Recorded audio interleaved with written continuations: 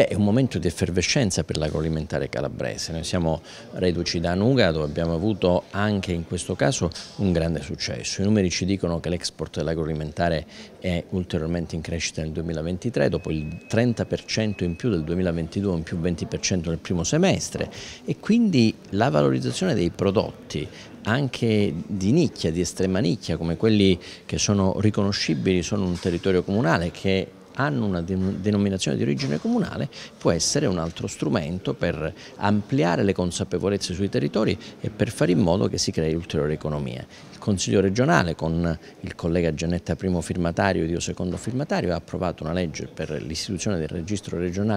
del registro regionale delle DECO, dei prodotti di, con denominazione di origine comunale e quindi credo che eh, adesso questo percorso possa brillantemente cominciare. Abbiamo istituito il, eh, il, il, registro proprio per averli tutti iscritti, credo che siano già tanti ma saranno sempre di più perché questo stimolo servirà naturalmente a tanti produttori per segnalare ai propri comuni ai propri territori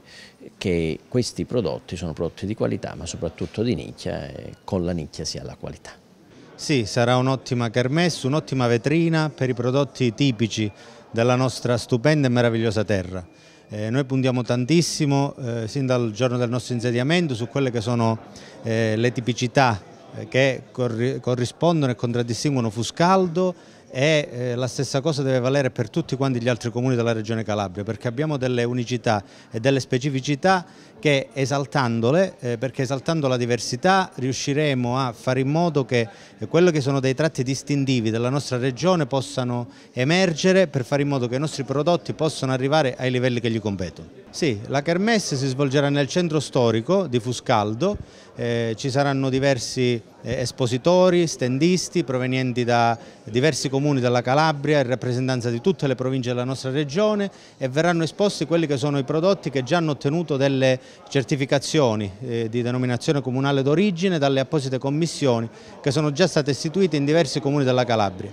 Altri hanno iniziato l'iter, hanno avviato l'iter per arrivare alla commissione DECO e questa è la strada da tracciare perché eh, come dicevo prima tutelare le proprie, le proprie specificità, le proprie particolarità serve in una visione d'insieme a fare in modo che tutta la regione Calabria possa vedere accresciuta quella che è la propria immagine. Per quanto riguarda Fuscaldo ci saranno chiaramente le alici, noi abbiamo diversi eh, piatti tipici a base di alici che hanno già ottenuto la certificazione eh, d'eco, ma c'è anche per esempio il pane di miglio e per quanto riguarda il nostro comune ci sono anche i portali, quindi perché anche opere dell'artigianato possono ottenere eh, la marchiatura eh, d'eco. Eh, da altri comuni eh, ci saranno le melenzane, ci sarà l'origano, eh, ci sarà il miele, quindi ci saranno tantissimi prodotti perché la nostra è una regione molto variegata da questo punto di vista e anche dal punto di vista enogastronomico non ha niente da invidiare a nessuno.